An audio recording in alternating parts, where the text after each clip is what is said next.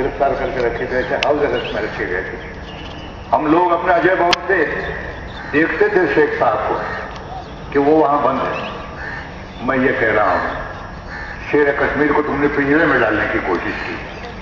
और जो जो उनके साथ तुमने समझौता किया, वो सारे समझौता को तुमने रद्दी के टोकरे में फेंक कर पैरों के तले रौंदने की कोशिश की।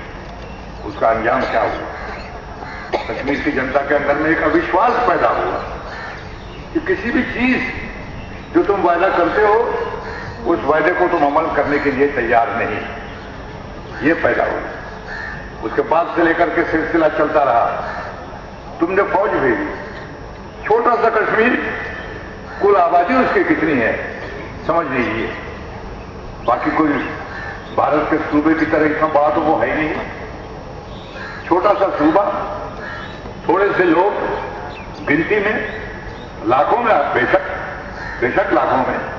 लेकिन तुमने फौज वहाँ पर भेजी। लगभग इतनी फौज वहाँ पर भेजी कि तीन चार डिवीज़न हमारे फौज की वही है। लेफ्टिनेंट जनरल वही है। और फौज का पूरा एक छावनी हर शहर में, हर गाँव में बनाई गई। मतलब कहीं ना कहीं आपको डाउट है कि भारत, कश्मीर भारत का अभिन्न नहीं है क्या? तो ये जो सभा है, इस सभा के माध्यम से हम बतलाना चाहते हैं कि कश्मीर की जो समस्या है, वो हमारी समस्या है।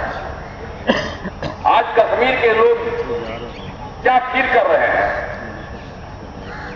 कश्मीर का जो ही बच्चा पैदा होता है तो एक समय में वो बच्चा फूल से खेलता था।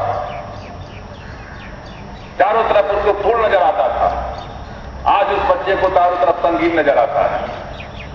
उसके दरवाजे पर आर्म फोर्सेस जो है, वो राइफल लेकर के, बंदूक लेकर के खड़ी रहती है। चाहे भारत की सरकार हो, चाहे राज्य की सरकार हो। आज वहाँ पाँच लाख से ज़्यादा लड़के, नौजवान डिप्रेशन में चले गए हैं। उनको लगता ही नहीं है। जब कहते हैं, हमको आज़ादी चाहिए।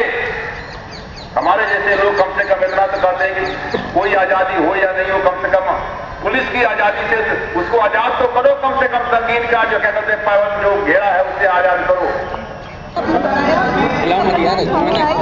बिल्कुल, हम लोग पूरे देश में अभियान चलाएँगे।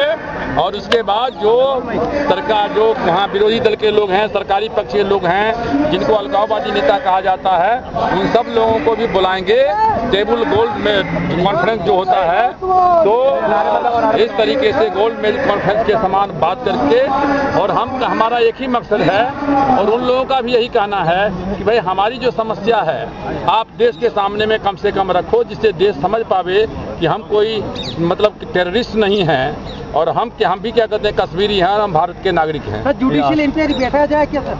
हैं? आप जो कह रहे थे जुडिशियल हम तो हमारी मांग है कि जुडिशियल इंक्वायरी किया जाए जो बच्चे निर्दोष लोग मारे गए हैं 110 बाकी जो टेररिस्ट मारे गए हैं उनकी बात अलग है। या तो सरकार कहे कि 110 बच्चे जो मारे गए हैं वो टेररिस्ट है या पाकिस्तानी है। यदि टेररिस्ट और पाकिस्तानी नहीं है वो हिंदुस्तानी बच्चे हैं तो उनके लिए कमीशन बैठाने में क्या दिक्कत है?